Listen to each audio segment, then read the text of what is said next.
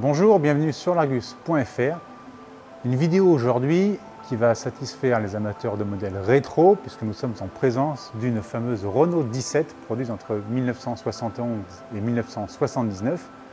Et pourtant, ce n'est pas de celle-ci que l'on va vous parler, mais d'une nouvelle Renault 17 puisque Renault vient de proposer un concept car resto mode avec cette Renault 17 faite en collaboration avec le designer français Oraito. On vous explique tout tout de suite. Depuis 2021, Renault a choisi de collaborer avec des designers contemporains. Ça avait commencé donc en 2021 avec un projet sur base de 4L, baptisé Suite numéro 4, c'était pour les 60 ans de la 4L. 2022, les 50 ans de la R5, donc un projet autour de la R5, la Diamant 5. Et puis 2023, les 30 ans de la Twingo, donc évidemment un projet autour de la Twingo. Et cette année, Renault a décidé de contacter le designer marseillais et non pas japonais, Oraito, pour faire un projet autour de la R17. Alors aucun anniversaire pourtant sur la Renault 17, puisque la Renault 17, comme je vous le disais, a été produite entre 1971 et 1979. C'est juste un one-shot qui a été fait en collaboration avec le centre de design Renault, et on sait que Gilles Vidal, qui est à la tête du design Renault, apprécie particulièrement les vilains petits canards de la production. On sait qu'il craque pour la Renault Fuego. Et eh bien ce coup-ci, c'est sur la R17 qu'ils se sont penchés tous les deux, et on va voir que Oraito a pu apporter sa touche à l'extérieur comme à l'intérieur. Comme vous pouvez le voir, le designer Oraito a gardé les proportions et le style général de la Renault 17 originale. D'ailleurs, c'est une base de Renault 17 qui se cache sous ce projet. On retrouve donc le regard un peu frondeur, mais sauf que la signature lumineuse ici a changé. Sur la Renault 17 d'origine, c'était deux doubles optiques rondes. Ici, en hommage, Oraito a choisi deux doubles optiques, mais rectangulaires, mais quand même avec les bords arrondis. La fine calandre, le capot bien lisse, tout est lisse sur cette Renault 17, on va le voir notamment sur les flancs et sur l'arrière. Et puis évidemment, c'est un resto mode, donc qui dit resto mode dit aussi rétrofit chez Renault. D'ailleurs, ce projet qui n'annonce aucun modèle de particulier à venir dans la production, met en revanche l'accent et la lumière sur la gamme rétrofit que propose Renault, notamment des transformations sur Renault 5, Renault 4 et puis des utilitaires. Donc c'est un modèle 100% électrique avec un bloc place à l'arrière de 270 chevaux.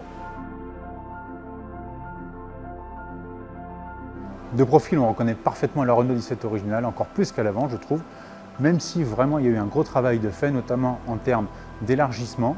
Hein. On remarque ici les ailes très très élargies. Il fallait bien ça pour habiller les roues de 19 pouces ici. Sur la Renault 17, c'était du 13 pouces, des petites galettes. Et puis à propos de galettes, petit détail très sympa, très rétro, mais quand même dans l'air du temps, c'est ici les jantes pleines façon vinyle, façon disque de vinyle, qui reviennent à la mode et qui étaient déjà à la mode dans les années 70 au moment de la Renault 17. Pour le reste, on retrouve donc, comme je vous le disais, le profil avec la même surface vitrée, avec ici la vitre de custode très spécifique à la Renault 17. Et ce qui est encore plus spécifique à la Renault 17 et qui est conservé ici sur cette version moderne, c'est évidemment ici le montant arrière façon custode avec ici des ouvertures vraiment comme sur la Renault 17 originale. Et puis pour le reste, on retrouve la ligne fastback. C'est une coque carbone, mais le toit ici est recouvert d'un habillement façon vinyle, puisque je vous rappelle que la Renault 17 originale était également proposée en découvrable avec déjà un toit vinyle amovible. Donc, toit plongeant, grande lunette arrière, et puis autre clin d'œil à la Renault 17, ce fin bandeau lumineux qui rappelle la signature originale, sauf qu'évidemment on a affaire ici à du LED. On est en 2024, on a mis une touche de modernité.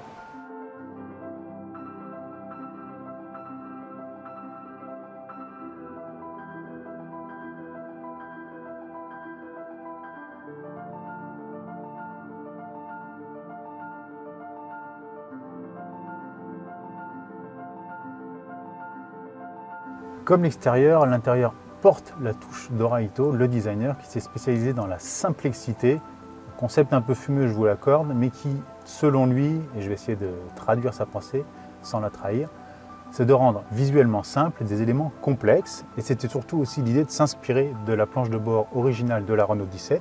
Pour mémoire, la Renault 17 avait quatre petits cadrans ronds euh, avec des tuyères au-dessus, et bien ici, ce sont quatre petits écrans mais qui sont disposés exactement de la même façon au-dessus du grand volant qui n'est pas rond mais plutôt octogonal, c'était une spécialité chez Renault à l'époque.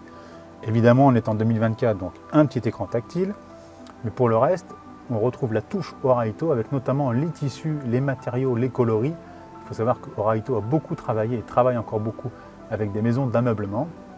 Il a repris notamment des matériaux qu'on peut retrouver dans des habitations, tels qu'ici de la moquette, ou même le tissu des sièges, qui est plutôt ce qu'on trouve d'habitude dans des canapés.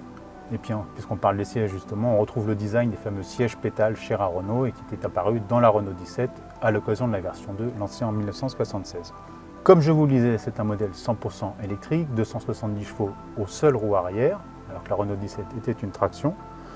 Pour le reste, on retrouve une finition très correcte, même si évidemment on est dans un concept car, mais vraiment l'ensemble est plutôt chaleureux, assez joli.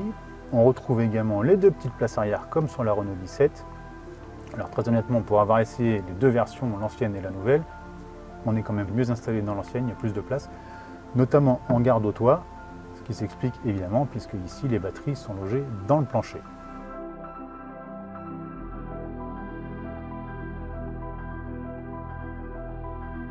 Voici donc pour cette découverte de cette Renault 17 électrique by Oraito, la réinterprétation moderne façon resto mode et rétrofit de la Renault 17 originale.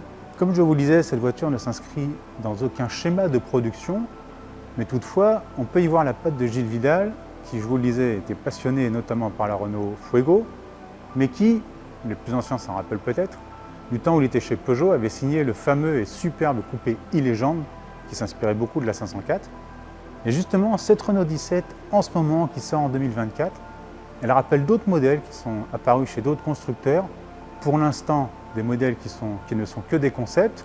On pense notamment à l'Opel GSE Electromode sur base d'Opel Manta, la fameuse Peugeot 504 e-Légende, ou plus récemment chez Hyundai, la N-Vision, qui elle vient d'être confirmée en modèle de série.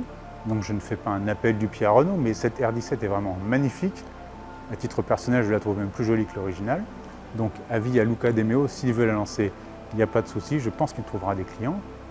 Et puis en tout cas, si vous voulez la voir, vous pourrez la voir au Mondial de Paris du 14 au 20 octobre à la porte de Versailles. Et puis si vous voulez voir la R17 originale, je vous invite à regarder sur France Télévisions, sur France 2 notamment, le vendredi soir, la série Petit meurtre d'Agatha Christie, où le héros roule en Renault 17, mais celle-ci de 1971. Voilà, c'est tout pour moi. Merci d'avoir suivi cette vidéo. N'hésitez pas à nous dire en commentaire si ça vous a plu, si vous avez des remarques et des questions. Et puis n'hésitez pas à nous suivre sur tous nos réseaux sociaux. L'Argus est présent partout. Merci, à bientôt.